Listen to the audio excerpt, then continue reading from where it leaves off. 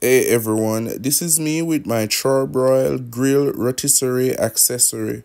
I was so surprised when I found out that these exist. I had to try it. I went and I purchased it and the instructions were simple. I attached the motor to the side, insert a bracket into the grill and then attach the skewer with the chicken. I then watched it for one hour and I am telling you it is very consistent. It allows your chicken to get a smooth even color and temp right throughout. After we finish we cut into our chicken and we were able to keep most of our moisture. Uh, it wasn't too burnt and it wasn't too dry.